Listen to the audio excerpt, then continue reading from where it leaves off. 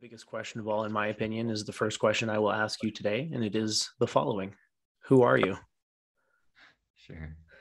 Um, well, I guess professionally speaking, I'm the founder of Cinco Medicos, which is a healing center in Peru and Vermont that offers private sessions, couples journeys, small group facilities, and uh, ceremonies, and uh, creative retreats for leaders, artists, entrepreneurs.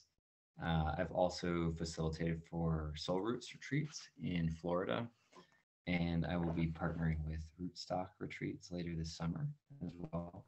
And in terms of psychedelic experience, uh, I have more than 15 years of experience with the traditional psychedelics like LSD and MDMA, as well as healing plants like Wachuma or San Pedro, ayahuasca, mushrooms, morning glory, jungle tobacco, um, in the form of both rapé and, and mapacho, coca, sananga, medicinal mushrooms, herbs, things like that. Uh, I've also completed several master plant dietas in the Amazon, where I was initiated by Shipibo Maestro Don Enrique at the Inkan Kena Center. And that's where I studied ancient shamanic practices from the Mahua Lopez uh, lineage. learned Icaros, we took lots of purgatives, uh, plant vapor baths, and develop relationships with master plants like Noya Rao, Trixanango, uh, Marusa, Chuchuwasi, Chiachaki, Bobinsana, and more. So I was also trained there to facilitate ayahuasca ceremonies, after which I've apprenticed with a, a shaman in the Sacred Valley of Peru, where I am right now, uh, working with the sacred cactus, Wachuma. So um, that's a little bit of an overview of, of me right now, but I can also give you a, a history of how I got there. Like. Yeah, well, I'd like to get into that, obviously, but that's a pretty good snapshot. And uh, I'm not sure if I caught your name and all of that. A lot of people they get into their story, but they fail to mention the the convenient label for which uh, we can call you. Fair enough. My name is Jeremy Martin. Yeah. Uh, that's that the the conveniences tend to fall away i guess immersed in the world that you're in i think the name is probably a little bit of a last consideration. It's it's true. Yeah I, I, tend to be a little bit of an anonymous anonymous figure here. Yeah. Um so yeah i mean you're steeped in psychedelic culture uh shamanic culture which uh, not mutually exclusive right? You can be uh a shaman without the use of plants, from what I understand. So it's not like uh, the two are completely bound together, right? They're uh, separate disciplines. Um, and you've experienced a wide range of psychedelic substances yourself.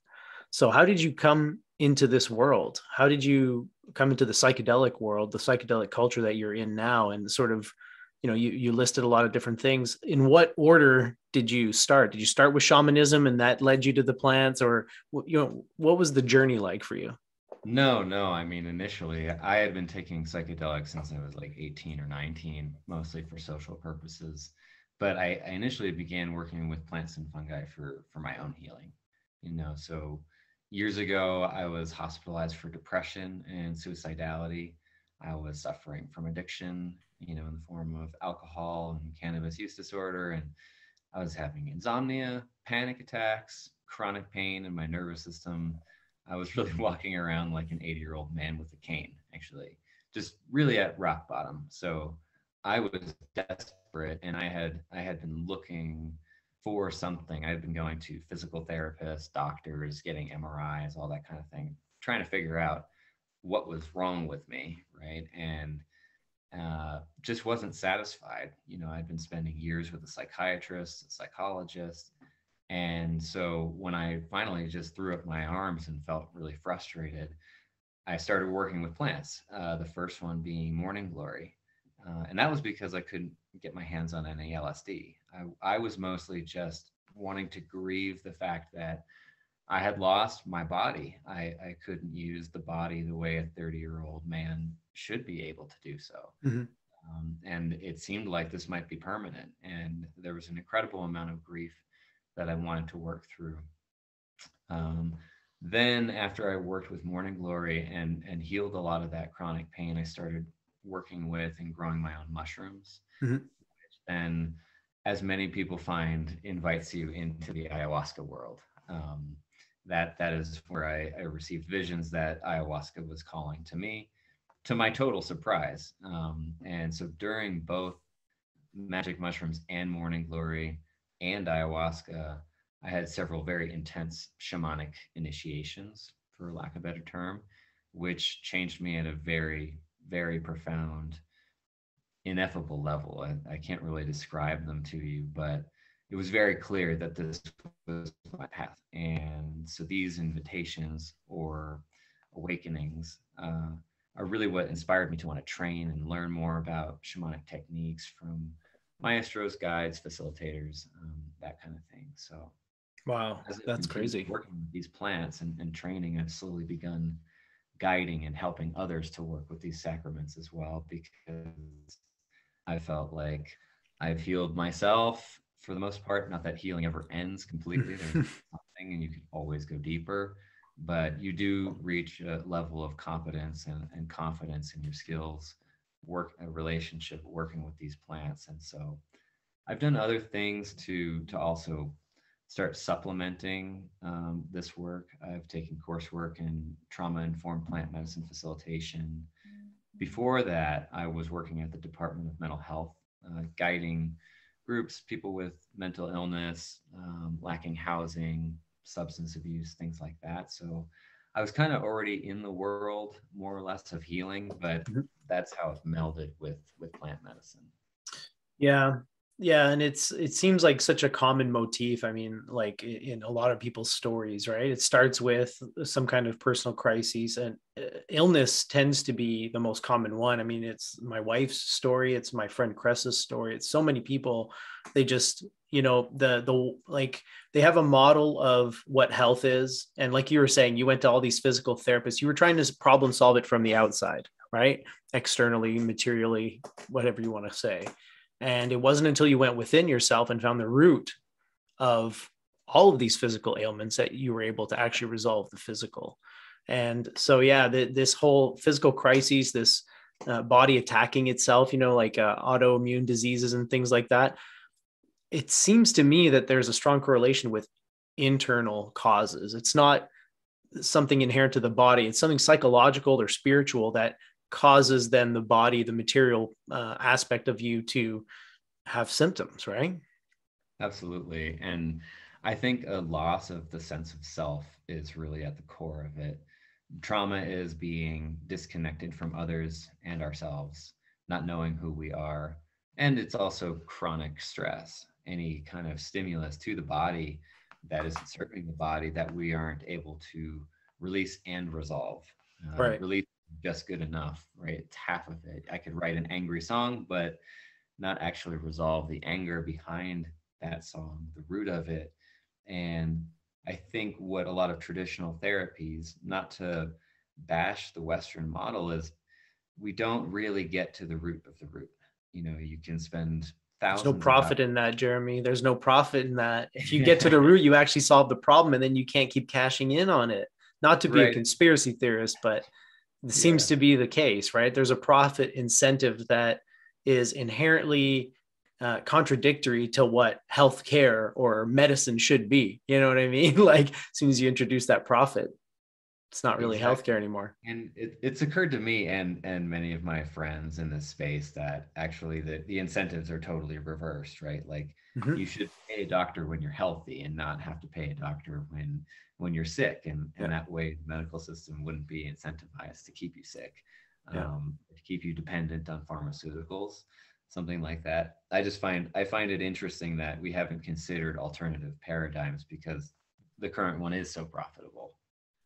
Yeah, well, and I think some uh, many of us are considering alternative paradigms, and this conversation is proof of that. I mean, the fact that there's uh, a person from Vermont, right? Is that where you're from?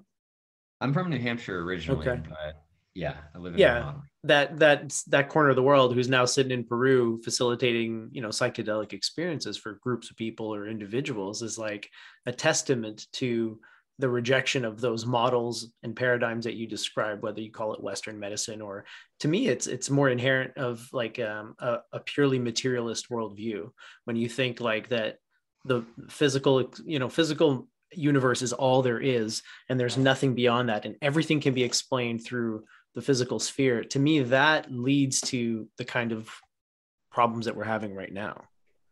Absolutely and, and some of the problems can be explained scientifically or, or traditionally as we have. Like my own coursework in psychology and addictions and, and mental health counseling has really helped me uh, in my work as an integration specialist you know yeah. both independently and for mind leap health and helping folks to prepare for their psychedelic experiences and helping them to actually integrate them afterwards because they've changed so much and nobody else has really changed as transformationally mm-hmm. um, mm-hmm. is, a, is a big part. And so I've learned a lot from psychology, a lot from modern medicine, but it really just seems to be, like you're saying, just a small part. It's missing missing Eastern mysticism. It's yeah. missing shamanic plants. It's missing community, right? Like you know, we heal through relationships, and Absolutely. we don't see that in in our Western uh, world. Yeah, yeah. Well, and it makes sense to me uh, that psychology would assist you and be a useful uh, tool for you in the work that you do. Because I mean, like to me, you know, psychology, spirituality, philosophy these are all kind of one discipline that we've uh, divided into three parts because to me you're dealing with the inner. Anything that goes uh, into the inner dimension um, the mind you know psyche anything that deals with those uh, the the sort of subjective nature of experience the mechanisms behind it you're, you're dealing with the same area right? You're dealing with the same sphere of of um, of experience essentially. And so psychology gives you one model and one approach and for me, uh, Stoic philosophy and cognitive behavioral therapy were a big part initially of my journey. Like knowing that I could actually influence my own thoughts and that doing so would change my experience of the world and shift my, you know, shifting my perspective would shift my experience. That was a revolutionary insight for me that I, it's still to this day is a part of who I am. And I, I use it all the time to reframe situations or, you know, reframe interactions with people and look at things differently and experience them differently. So the psychology is is a huge aspect of it. But in terms of conceptualizing versus experiencing and i think that's where psychedelics come in right? They allow you to experience what psychologists and philosophers talk about and intellectualize. Right and and it gets to the top down versus bottom up approach. I, have I've learned a lot about the body. I worked at UCSF's uh, Emotion Health and Psychophysiology Lab, conducting studies on the human nervous system, biofeedback, polyvagal theory, yep. and that has been instrumental in my own breath work, with which I've also brought into the plant medicine space. And, and so it's interesting to see how our prior experience can actually help us, you know, can supplement the experience, but it's not sufficient, right? It, it's necessary, but it's not sufficient. Yeah. Wow, I love your approach, man. It's like because it's holistic. You're taking everything into consideration, and you're not saying like, "Oh no, this isn't." No, no, no, I can't. Like you're leaning on everything that's available to you to help people heal, and psychedelics is like obviously a central tool or uh, instrument in your in your methods, but it's not the only thing. I mean, you've got a very diverse sort of uh, approach here. Yeah, it, it needs to be a rich palette of colors because otherwise you're just painting in red, you know. and like I've seen a lot of people who have used psychedelics a lot and received absolutely no healing. They they just go from one peak experience to the next. And that to me is an immediate red flag mm-hmm. where like you need these other modalities in order to to get holistic healing. Um, and I see the conversations that I have as sort of a second ceremony after the ceremony has ended, you know, where people are like, wow, that was so grounding. I'm so grateful for for the way that we've talked about this and that talk therapy, ecotherapy, all of it is is essential in my opinion. Yeah, so here's where I where I could learn. Well, I can learn everywhere, obviously, but here's where I would like to learn from you is in the integration and and the conversations that you're describing. Because I I try, you know, I don't try. I have those types of conversations as well. I do like a um like a consultation, let's say, like I talk to the person and, and get to know them for a bit. Then we do the ceremony or the ritual, and then I have like the follow up. And people always ask me, in podcasts or in those situations how do you integrate right? Because i always talk about the importance of integration and making sure that whatever happens during the experience you take it with you and you it becomes a part of you. It's not something that you just experience and dismiss and move on from. I know how i do it and i suggest you know i give people some ideas that way. So what kind of conversations do you have afterwards to kind of facilitate that? And what kind of tools do you give people for integration? That's a great question it really depends on a lot of different factors I've, I've found. Um, the, the biggest one that I lean on is spending more time with the individual, you know, getting to know them really well in the preparation phase, understanding their trauma history, understanding where they are right now in life so that I can meet them in ceremony at that point too.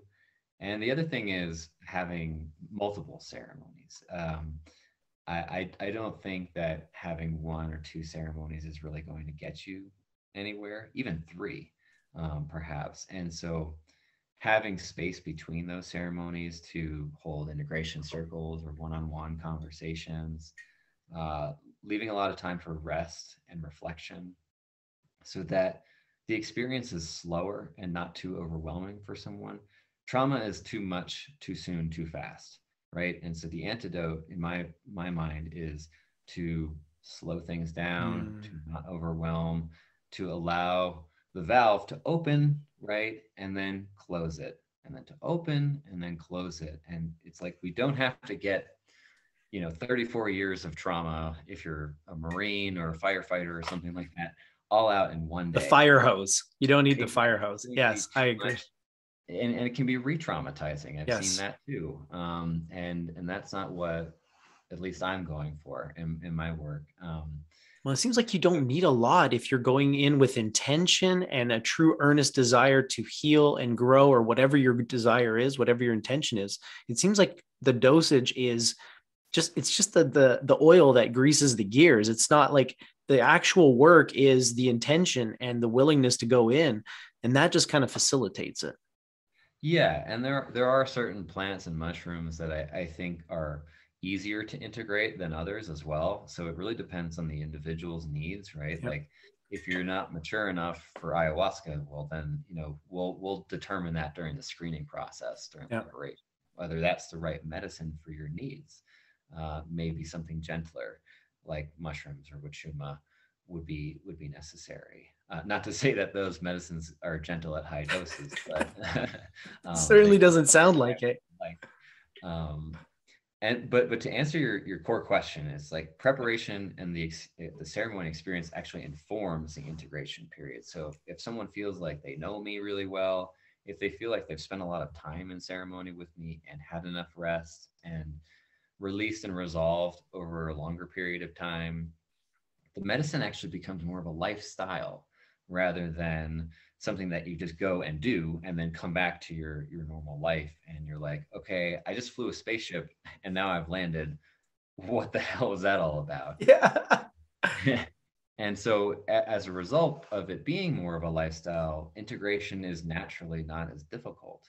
Yeah. um, and and and helping to also hold that container, right? It's like you have the ceremonial container, but you also have the integrative container where it's like you make sure that people have a good support community. That's essential. Um, many people, especially with mental health disorders, tend to have a lot of difficulty without any support afterwards. And so, if they have an integration specialist, they have a therapist, they have work that they want to go back to, or at least a plan and they have friends that are like-minded and, and will understand or at least try to understand their experience i I've, i think that's a recipe for success rather right. than people getting lost and confused as is definitely possible for sure. Absolutely. Yeah i've seen it and not a lot thankfully. Whoops not a lot thankfully but i've definitely experienced that and seen that um it's yeah i mean you're just yeah you're just really driving home the point that uh some people are ill equipped to do this work and you actually need a lot of training and a lot of uh, study and it's not enough to just be on your own healing journey and think that you can kind of guide people along.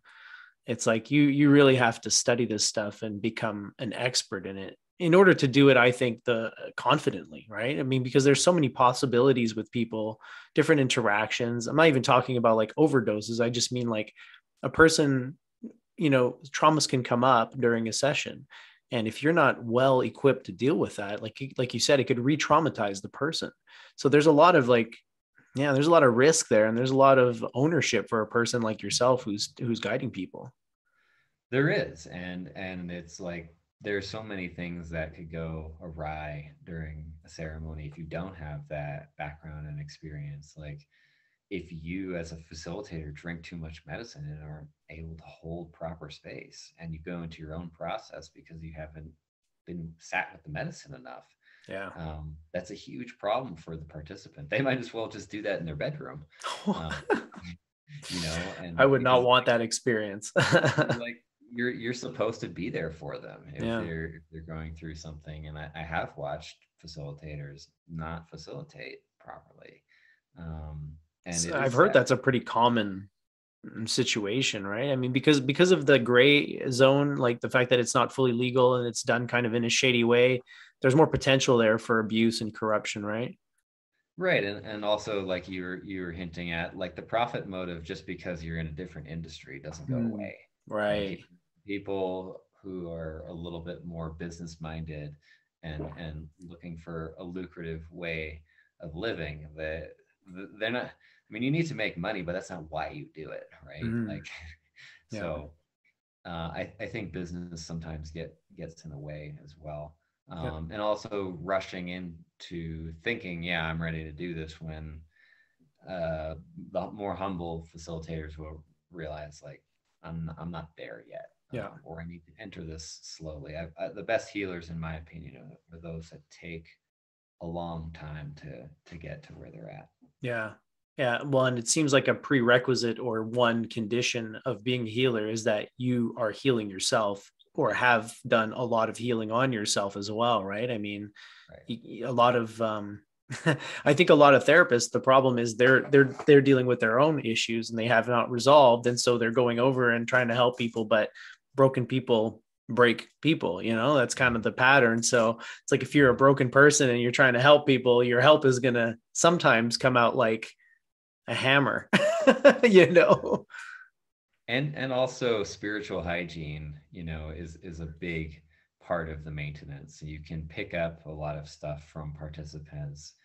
Energies just wit- witnessing people's traumas can be traumatizing over over time. Yeah. Uh, especially you know people come into this work very sick like me incredibly desperate right? It's like their last resort and so they're coming at a time of intense need. And if you're there not just around one person but multiple people like that over time it can really take a, a toll not just on your body but your psyche as well. And yeah. yeah because you can take some of that energy on right? And then you it will yeah. it'll have an effect on you. Um I want to circle back and talk a little bit more about your healing journey and how it started. And you know, so you you started with Morning Glory. You said I'm not even really familiar with that one. So what's the, what's Morning Glory? How do you get it? What does it do?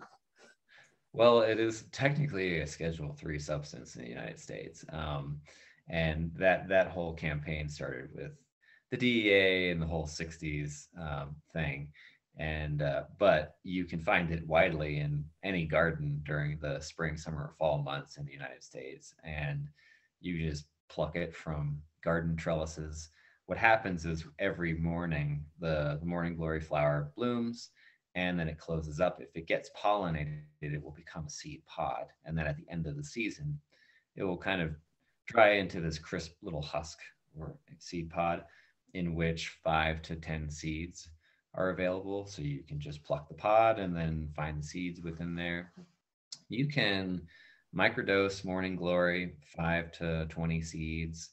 20 to 50 seeds is sort of a light to moderate psychedelic dose, and 50 to 100 is a pretty hefty, moderate to um, you know intense dose. But it depends on the variety. It depends on you know the flower that you're working with, and um, so you can use it for a lot. Um, I, I found it to be very helpful for my chronic pain, but I, I also noticed that it could be helpful for obsessive compulsive disorder, anxiety, um, childhood trauma, developmental trauma, um, and just a host of other other things like depression um, and even addictions for that wow. matter.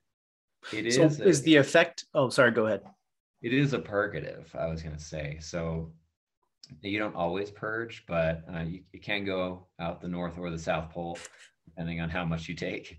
Um, you know, and I have purged on Morning Glory, and it, it, it does clean you out in that. Yeah, which is also a good thing, I, I imagine, right? I mean, part of the purg- purgative thing with ayahuasca, you know, I've heard stories of people, you know, pooping themselves and stuff in a circle with others. That doesn't appeal to me, but you know, in private, obviously, if that that, that happens, I think it's good for things to come out, right? Both uh, physically and metaphorically. So think there's yeah. a correlation there. But uh, yeah, so were, did you start off microdosing it, or did you? Were you, how were you using it in the beginning of your healing journey, where it was giving you relief of your physical symptoms? Yeah, I was I was starting to just experiment safely. You know, start low, go slow, and you can always take more. yeah. kind of approach. Yeah, good um, philosophy. I, I worked my way up and and worked with my own body. Um, I, I would never recommend anybody a certain dose before no. start, starting low.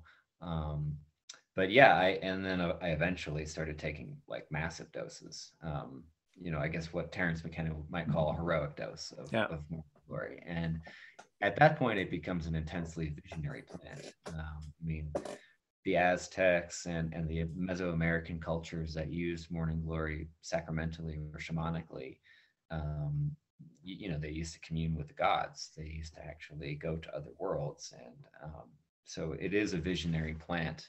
Um, when used in a ceremonial context and that is very important mm-hmm. i would say. I've, I've talked to many white people like myself who have actually felt almost nothing uh, taking morning glory. And right. my, my intuition or suspicion is that it's because they haven't used it in the ceremonial context and the plants know that and that goes back to what I was saying earlier about the dose and the substance being secondary to the intention and the inner state of the person going into the experience, right? And yeah, it's interesting because I noticed that like I so I, I, tried psychedelics when I was younger, right? In my like early 20s and stuff. And I was like, all right, it was cool, whatever. Didn't do it for a very long time. Then I embarked on a spiritual path and I began to have uh, some of these insights about you know the way you view the world and how that changes your experience and i started doing work on myself without psychedelics, just, well, I guess with cannabis, which is a psychedelic, I think, to, to some extent. But aside from psychedelic or from cannabis, I was mostly just doing the work with spiritual practices, meditation, those types of things. And then in the last couple of years, I've come back to psychedelics, and it's like, holy shit, this is a new ball game now, because it's like I have a lay of the land. Like if psychedelics throw you into the inner world or they project the inner world outwardly when I was younger, I had no idea what the hell was going on, but now I actually have some foothold in that realm. And so it's changed my relationship to psychedelics to the point where a microdose is like, whoa, I'm tapped in, baby. It's like a small, small amount, but because there's intention behind it and because I'm aligned in a certain way, it's like, whoa, was that a microdose? I'm feeling alive right now, you know? So it's the inner work and the um, preparation that way i think that has the most impact on the psychedelic experience. And yeah it's it's crazy that you just kind of validated that a little bit with your your story. So thanks for that.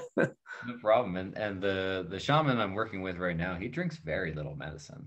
Um, i mean partly so that he can hold space but also because he's just become so sensitive to it. And that happens on ayahuasca wachuma and many other medicines.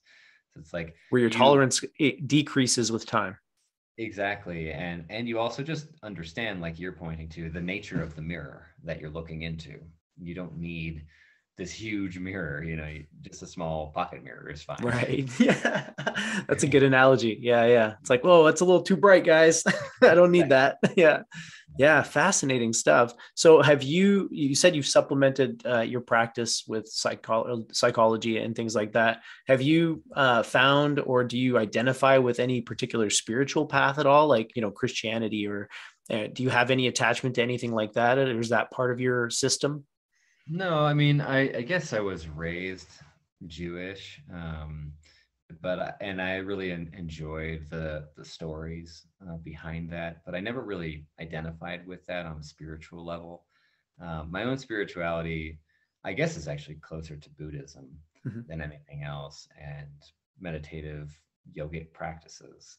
Um, spending time in nature is is spiritual for me. I love to hike. I love just sitting in a meadow or or being in the mountains or the jungle. Um, that that to me is like perhaps the most spiritual thing I've ever done. Yeah. Uh, good for you. Yeah. I mean, uh, that is spiritual as far as I'm concerned. You don't need to identify with any particular path. I was just curious as to your uh, upbringing because a lot of people um, are brought up in religion and then they have kind of this like, um, you know, uh, pendulum effect where they're like, oh, you know, anti religious or anti theists or whatever. So just curious to see if you had anything like that going on. Yeah, I was atheist for a little while, and and I think part of that nihilistic approach is is more just a symptom of trauma that I was carrying at the time, Mhm. um, feeling disconnected from myself, others, and God or spirit. Um, and so, as as I walked the path and read about Taoism and other approaches of of living in flow, um, and started to try to embody that myself with with a lot of time I think I started to identify more with the Eastern um, Yeah. religions and, and practices. And your naturalist bent would would fit right in with Taoism, right? I mean, it's uh, basically the Tao Te Ching is an appeal to live in accordance with nature, right? To find uh, the flow of nature, as you described it, and to go with it instead of against it, as human civilization seems determined to do. Go against the flow, go against the Tao. How's that working for us? Woo! I don't know. Uh, it depends who you ask, but I don't think it's going very well from my point of view. yeah, same. same. Yeah. Well, you're doing some pretty amazing work down there. So you do. Uh, you said you split your time between Peru and Vermont. So uh, that's an interesting sort of uh, dichotomy for you. Um, Is it culture shock every time you go from one to the other, or are you used to that flow now? That's a good question. Not really. I mean, I I've spent so much time in Latin America. I've been to like I don't know, 15 countries, and spent years of my life in Latin America. So coming here is kind of just like, oh, you know, coming home, my second home here Yeah. in Latin America. Um, and uh, I, I particularly love Peru. I've spent five of the last 12 months in Peru here. Um, but also like, you know, I'm American. So I, I, I have friends at home. I realize that our culture is in need of deep, deep healing, Mm. not everybody can just fly to Peru willy nilly. Yeah. Um, and so, yeah, I want to be able to bring my divine talents and and this magical medicine home to people who who really need it, and there are lots of people who need it. So, Yeah, in some ways, the Western world, the so called developed world, is the most traumatized of all. And I think one of the biggest traumas that we have, and I don't know if this is your case, but many of us have it way too easy. There's no struggle, there's no challenge, there's no uh, direction or meaning. Everything is available, everything is instant gratification. And you get this, um, what Viktor Frankl called the existential vacuum, where you you're you're physically at the best you've ever been. Medicine will keep you alive for the longest. Life is good. You have access to all these things and yet none of it means anything. And it's empty and there's no direction and why bother? And that you described nihilism. So was that sort of your experience up until you started to get into the medicine and, and all that stuff or was that ever part of your sort of you know nihilism yeah, I think I think meaninglessness, uh, uh, diseases of despair is the phrase, right? Like depression, anxiety, addictions, they they're all just different manifestations of, of this existential ennui, um, which is a light version of it. Some people feel so much nihilism that it leads them to, to suicide. And Mhm. that's where I was. And even you mentioned, you know, great physical health. Like I was a triathlete before I had chronic pain. So I was running 10 miles a day, swimming three miles a day, biking 50 miles. And like I was in fantastic physical shape, but was I actually on a soul level content or fulfilled? Uh, no, actually. clearly yeah But, uh, Training for a triathlon was run, literally running away from from my problems and um, i didn't realize that that you know i think what a lot of people don't understand is these are such unconscious programs. I was I was playing out a script I had learned in childhood and didn't even know was a script because it was so conditioned. And so I think the modern ailment that we have in the West is that we don't know how traumatized we are. We just literally don't have awareness. And so how can you heal what you don't know exists? Wow. And and so oftentimes what we see is is stories like mine and and the ones that you shared is that people it, it has to come to such a point of crisis. And um, to wake you up you have to be walking with a cane. You have to have been hospitalized. You have to have been an alcoholic for for these things to be like dude your life is a mess right now. And uh, and it's sad that it has to get to that point but i think that is uh, a core symptom of trauma because you're so disconnected from yourself and who you are. Yeah you've mentioned that a few times. Can you elaborate on that? Disconnected from yourself? What what does that mean? How, how do you describe that? It can mean a lot of things, but um, I think it's playing a role or being a version of of yourself that is not true to to to to who you feel you really are, who right. you know deeply, deeply, deeply uh, you are. And I'm reminded of a, a, model. Have you heard of the the drama triangle at all? Um, I don't think so. It, it was a model proposed by a, a doctor, just an idea uh, that especially in dysfunctional families or any relationships for that matter, we tend to get in these drama triangles in which we play three predominant roles. Uh, one of which is the perpetrator or abuser, another is the victim of that abuse, and the other one is the rescuer, you know, mm. someone who tries to save the victim. And these roles are dynamic, actually. They can switch over time depending on the scene, right? Right. And so the context of the situation, yeah you either accept or reject the role uh, of perpetrator, victim, or rescuer. In my case, I, I tended to be the victim or or the rescuer. You know, the family diplomat, the mascot, or or I took the abuse myself. Right. Um, and uh, and you know, for example, my parents might have been the perpetrator or the victim, and they and so we all played these roles. And in the drama triangle, you're not who who you actually are.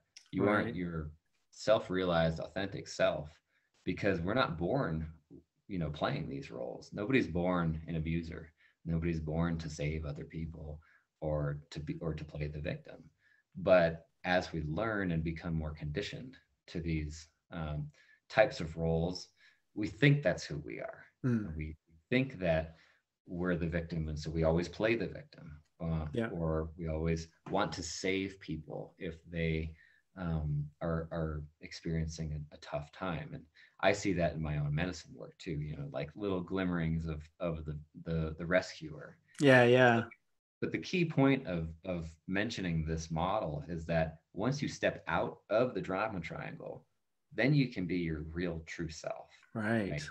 then you can actually know what you enjoy. You can be in authentic relationships where you're not just pretending to be someone else or trying to please other people.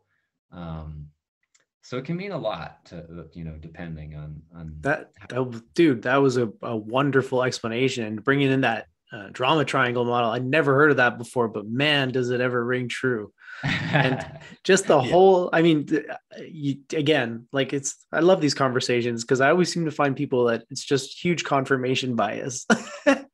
Like what you're, you're what you're describing the story and when you believe in the story you'll never question it because why would you question something that you already know it's this right. ultimate trap right and we all have this story and um you know some people are like ah not me i have no story i'm enlightened it's like that's their story they're the enlightened dude who has no story, right? That's his story. He's telling him everybody, you can't get away from it. So, what you said is exactly right. Everybody has a story. All you can do is step outside of your story and become the author, right? If you're in the story, you're just a helpless victim, savior, whatever. You name the archetype, there's many of them. And that drama triangle is a wonderful example of that. But if you step outside of the story, you realize, ah, okay, I get to decide what my role is. I get to decide what the story is, even, right? Which is kind of this whole idea of changing your perspective and looking at things differently. that that can change the situation from you being a victim to you being the perpetrator. You can suddenly see, oh, wait a second, I'm not just this like little victim here. I'm playing a part in this. I have a part in this play. I have a role to play and I can change it. Right. So, man, that's crazy. Did you come to this stuff through psychedelics? Like th- this sort of awareness of like your own programming, all of this stuff? Or was it kind of like, did that help to really cement it for you? Because I feel like a lot of people need uh, something drastic because like you said it's a trap right? You if you're not going to question if you think you already know. So does it take like hitting rock bottom or psychedelics to really break people out of these patterns in your opinion? Um i think again it depends on the person. I, i've i've found that when i break out of certain programming it helps me learn about other things. Like when i realized i was a codependent child i started reading a lot about codependency and narcissism mm-hmm. and the patterns therein. And that brought me to things like the drama triangle. That brought me to, to new understandings and models, frameworks of, you know, how I was operating, uh, often on an unconscious level. And I think if psychedelics are an expansion of consciousness, that that is an inevitable, right? And so some some people are already expanding their consciousness as they prepare for these experiences. Mm-hmm. And then it further expands upon the psychedelic experience. And then they continue to learn more and more about themselves and and and the world around them. And it, it just it never ends, right? It just gets bigger and bigger. And it's like this Ouroboros or, or torus, like feeding back on itself, but but expanding like the universe. Yeah. Wow. That's wild. Yeah. We're such complicated creatures, aren't we? Right. And like you also start to see, okay, take the drama triangle, for example, all the sub roles, like, oh yeah, I'm also a perfectionist. Mm. And like, where does that come from? And you start asking all these look within type questions about like, oh, okay, well, I went to private school. And of course I'm a perfectionist because that's so much conditioning. And I had to be this kind of person yeah. um, in order to survive. And uh, you start to just see your life through a completely different lens, which for me and for a lot of people can be quite destabilizing. And so, circling back to integration, I think that earth shattering, paradigm shattering uh, experience can really rock people if they're not ready for it, both on a maturity level and also just not having the support of people who have also been rocked before.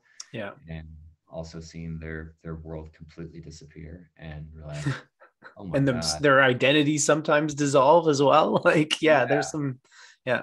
Yeah, I just had somebody somebody here, a guest, say, My whole life's been a lie, you know, and when you come to the realization like that, you don't want to be alone. You want to be around someone who can listen to you work that out because yeah. that's a secondary process of coming to terms and accepting that yeah it has been a lot of a lie but now you now realize that that's okay.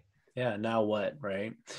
And what can you learn from that lie? Because you know there's truth in every lie right? I mean there's there's something there for you to mine and I, am sure right after an experience like that is not the time to be necessarily suggesting that to a person but it hopefully in hindsight you know it's like okay this wasn't wasted. It might have been alive, but it wasn't a waste. There was something there wisdom to be mined and that way you won't be caught with that lie again right? Right right exactly. Yeah that's crazy. Yeah so when you're in vermont how does it work uh, from a logistical or legal standpoint? Do you have some kind of loophole, or is it is it all legal in that state what you're doing, or how, how does it work? Um, it's tricky, and and I don't just do uh, work with plants and psychedelics. I, I also do herbal remedies and um, you know singing, breath work, yoga, just all, all these other things. But yeah. um, right now, the legalization status is we're getting there, but we're not quite there. Mm-hmm. Um, and so it is quite difficult, which is why I, I spend a lot of my time in Peru. Um, right. You know, and uh, obviously, my hope, my prayer, my wish is is that it will become legal and that um, we are able to administer these things without having to be underground or, or anything like that. But currently, yeah, it's it's a little bit tricky. A gray zone, yeah. yeah. Interestingly enough, I um I er, discovered this guy named Steve Urquhart. He was like a former Mormon like uh, politician who started like an entheogenic church. And he, i guess he uses the sort of religion loophole to get around the legality of it. So you know maybe that's another avenue. I think it's hard to separate psychedelics from spirituality for me. And again maybe because i'm biased and i'm coming at it from the other way you know um, spirituality first into psychedelics versus i think a lot of people psychedelics breaks them open and then they are open to spirituality right? But i think the marriage of the two is i mean it goes back hundreds and hundreds of years. And i think we need it more than ever because it's it's what's lacking today really. Yeah. what we're experiencing right now is a spiritual crisis and climate change and war and covid those are just the symptoms just like you when you had your physical ailments those were just symptoms of inner spiritual psychological things. That's what the world is experiencing right now. So like bringing those experiences that you're doing over there to to the western world is yeah i hope we can get that done soon man. Yeah and if i have to become a minister to make it happen that's what i'm saying dude. Like just you have and on top of that you have the uh, all of the credentials right? So not only would you be doing it you know from a spiritual standpoint you've also got the psychotherapy you've got all these other tools at your disposal. So yeah just an idea for you uh, i mm-hmm. wish you'd come to canada and set one of these up for us but yeah i think that's the sort of the way to drive this is through the religious freedom. In the us i think that's the best avenue for psychedelics right now yeah, I have a friend in, in Arizona who just started her own church, and uh, I'm kind of waiting to see how that goes for her and seeing whether I can learn uh, through and, and by her. Um, it's it's occurred to me too, but it, it also doesn't seem totally necessary at, at this point. Yeah. Yeah. And hopefully it won't be, right? Hopefully it just gets legalized and it's it's you know regulated and but you know, I part of me worries that if it is legalized, like you said, then it'll become uh, incentivized. It'll be a profit motive, and uh, you might lose the sort of again the spirituality as well if it's all done in a cold sort of clinical setting with you know doctors in lab coats or whatever you know? Like mm-hmm. i for me nature and psychedelics go hand in hand as well. As soon as i start to feel the medicine i'm like boom outside. Time to go sit in the grass with my feet you know feet grounded and all that kind of stuff Totally. And I, I did have an integration client who who just did some ketamine therapy and it was in this musty basement with a you know a fake plant you know and they, they're hooking you up to this iv and it's like i don't yeah. know and he came back but to your point it's like if there is a profit motive and you you can go the legal route people are waking up to the fact that like that's not how they want to do it that's yeah. not like i don't want to to sit in a hospital bed um, and and have someone in a lab coat, you know, like hold my hand or something. This is not the experience. I I want to be in in Vermont. I want to be in a, a Maloka or teepee or like yep. actually with someone who's studied from the ancient, you know, uh, wisdom traditions um, that that has more of a um, earth-based approach. Yeah, for sure. Yeah, so I hope it. I hope that whatever happens, it that is a possibility as well. It's not kind of yeah. just you have to go to your doctor and that's the only way to do it kind of thing. Because again, to me, that would be uh, losing out on the essence of this, and it's, it's such a like a spiritual experience, right? Yeah, um, and a um, lot of these things do run through word of mouth, and and people are like, "Oh, you've got to see this this guy or this woman. You know, they're incredible to work with." And I, th- I think those testimonials are, are really important, you know, because it establishes trust. It establishes the fact that there's a level of competency and respect and, and dignity.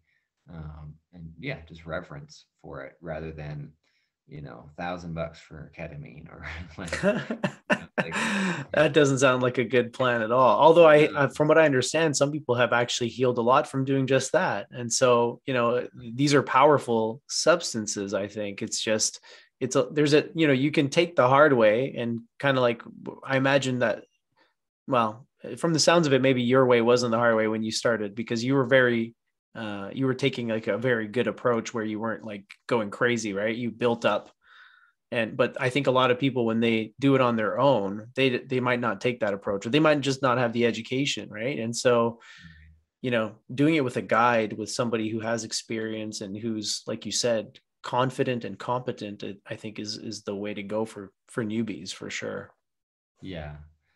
Yeah and, and it is it is tough because there's a lot of information out there that how do you how do you know how to corroborate it right? Like yeah. Okay i read this in a book but i didn't live it myself you know or it, it's not a real experience it's just the, the finger pointing at the moon. Yeah very true. Yeah and that's what that's something else that we were talking about earlier right? The int- intellectualizing it versus the experience of it are very different things and someone like yourself who has both is uniquely equipped to, to guide people along so that's that's amazing yeah it's like i i believe in ethnopharmacology but if you tell me like oh when you have dimethyltryptamine and an maoi like then it leads to this wild experience. Like that's not enough of an explanation for me.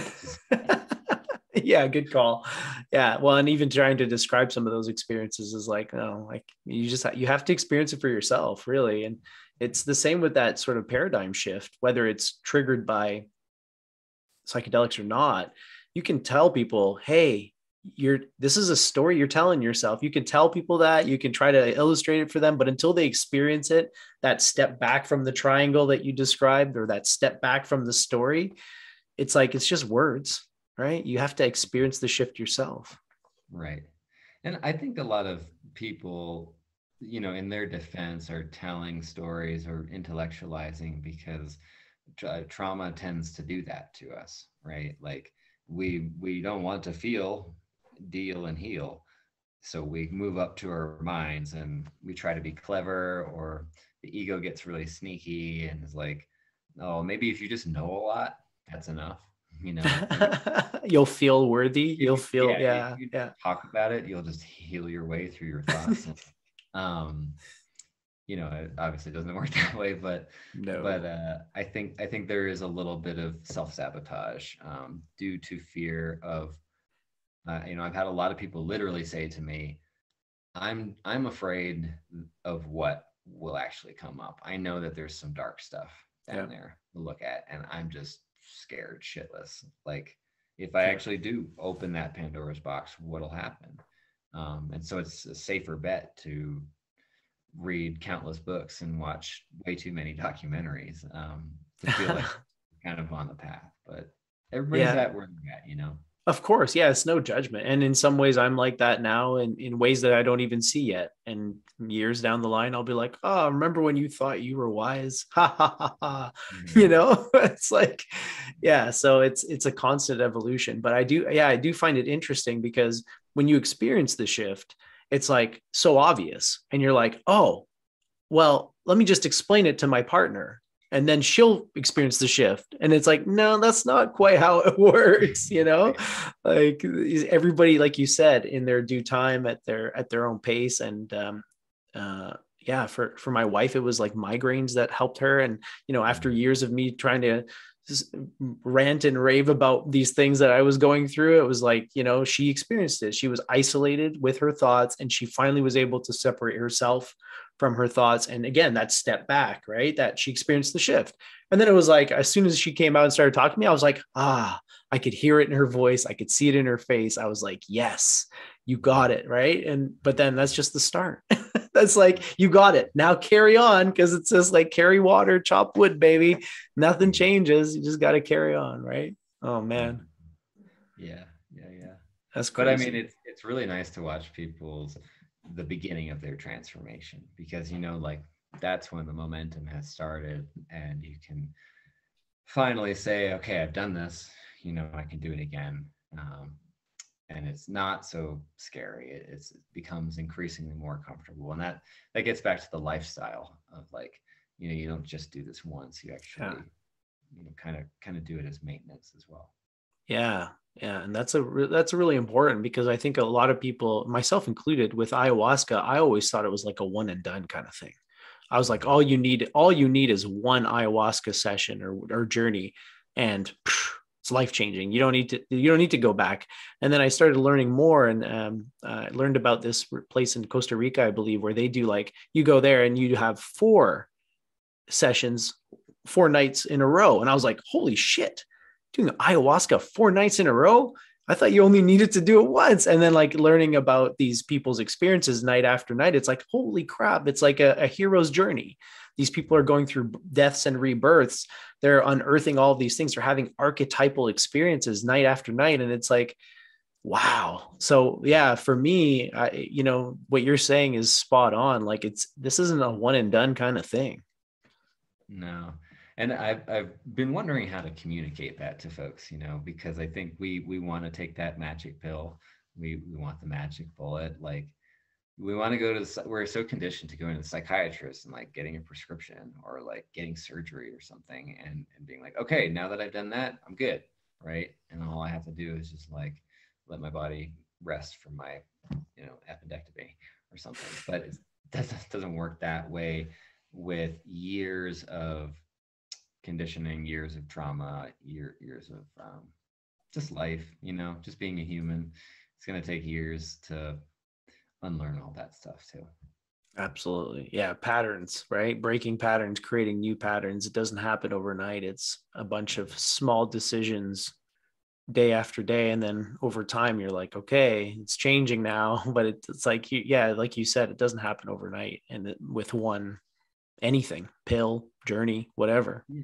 It kind of reminds me of farming in many ways. It's like, all right, if you want to start a farm, okay, like you're gonna have to do a lot of work, and it's gonna take years to to bear fruit. Um, yeah. You're gonna get better at it with each year. You're gonna learn from your mistakes, and you're gonna try different things. You're gonna rotate crops. You're gonna yep. have some failed harvests. Um, but you know, the longer you do it, the the more satisfaction and, and reward you get out of it. Yeah. Kudos. Yeah, that's I think James Allen said uh, a person's mind can be likened to a garden. It's going to bear fruit. And, right? It's it's going to bear something, but is it going to be weeds? is it going to be you know sustenance? Uh, that's up to you. It's up to the gardener. So yeah, very well put. Well, I, I, think this was a great chat, sir. And uh, I'm going to plug your website in the comment uh, or in the description below, obviously. And um, yeah, is there any parting words of advice that you can give to people who maybe maybe they're experienced psychonauts or maybe they're just curious about psychedelics? What would be your sort of parting words of advice for those folks? I would just um, suggest patience and humility. Um, realizing that it takes a lot of work, that it's going to take a lot of time. Um, and uh, although the ego is a wonderful tool that we can use to get what we want done or what we need, um, to just be very cognizant of of your own ego uh, and um, and thank the plants. Be very grateful for these medicines, for Mother Nature, for providing us with the ability to heal. That's what I would say. Yeah. Great closer. Appreciate your time, Jeremy. That was awesome. Thank you so much, Oliver. I appreciate you.